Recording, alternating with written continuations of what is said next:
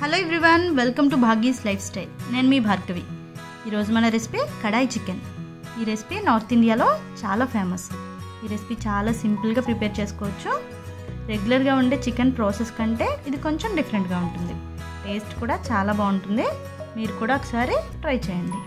నేను ఇక్కడ కడిగి శుభ్రం చేసిన హాఫ్ కేజ్ చికెన్ తీసుకున్నాను. చికెన్లో హాఫ్ టేబుల్ స్పూన్ సాల్ట్ రెండు టేబుల్ స్పూన్ల కారం ఒక టేబుల్ స్పూన్ అల్లం వెల్లుల్లి పేస్ట్ రెండు టేబుల్ స్పూన్ల చిక్కటి పెరుగు వేసి అవన్నీ చికెన్కు బాగా పట్టేలా మిక్స్ చేసి హాఫ్ అన్ అవర్ మ్యాగ్నెట్ చేసుకోండి. స్టవ్ మీద కడాయి పెట్టుకుని రెండు టేబుల్ స్పూన్ల ఆయిల్ వేసుకోండి.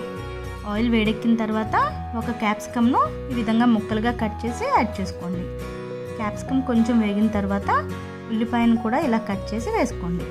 ఇవి కొంచెం గోల్డ్ కలర్ వచ్చేంత వరకు వేయించి పక్కకు తీసుకోండి.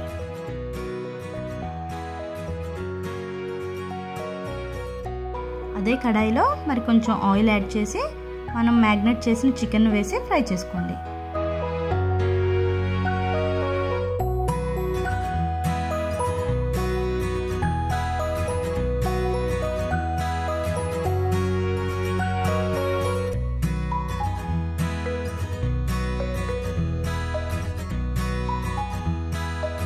చికెన్ గోల్డ్ కలర్ వచ్చి ఇలా ఆయిల్ పైకి తేరేంత వరకు వేయించి ఒక బౌల్లోకి తీసుకోండి.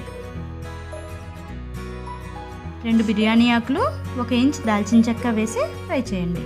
అవి కొంచెం వేగిన తర్వాత రెండు మీడియం సైజ్ ఉల్లిపాయలను మెత్తగా మిక్సీ పట్టి దాన్ని కూడా యాడ్ చేయండి.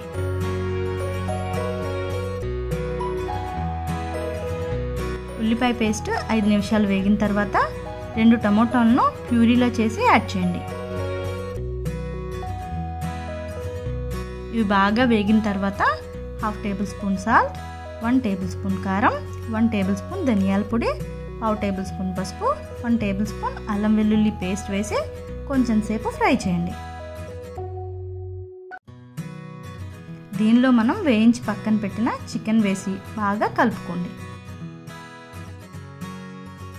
ఒక కప్ వాటర్ పోసి కొంచెం సేపు మూత పెట్టి ఉడికించండి.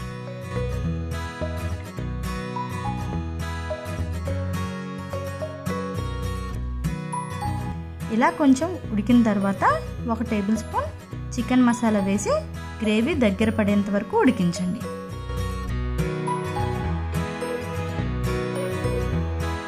హాఫ్ కప్ బీట్ చేసిన చిక్కటి పెరుగు యాడ్ చేయండి.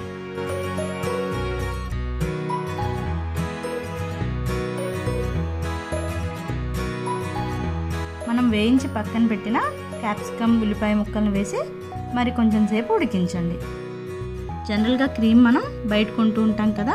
కానీ ఈ క్రీమ్ నేను ఇంట్లోనే ప్రిపేర్ చేశానండి. పాలు కాచిన తర్వాత మేగడ ఫామ్ అవుతుంది కదా. ఆ మేగడను మిక్సీ జార్లో వేసి ఫోర్స్గా గ్రైండ్ చేసినట్లయితే క్రీమ్ తయారవుతుంది. దాన్ని మనం కర్రీల్లో యూస్ చేసుకోవచ్చు. ఇలా ఆయిల్ పైకి తేరిన తర్వాత ఫ్రెష్ క్రీమ్ను యాడ్ చేయండి.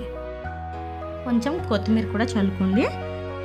చూసారు కదా చాలా టేస్టీ కడాయి చికెన్ ఎలా తయారు చేయాలో? మీరు కూడా ఈ రెసిపీని ట్రై చేయండి. మా ఛానల్ను ఒకసారి విజిట్ చేయండి. మా వీడియోస్ నచ్చినట్లయితే సబ్స్క్రైబ్ చేసి పక్కనే ఉన్న బెల్ ఐకాన్ని క్లిక్ చేయండి. Thank you for watching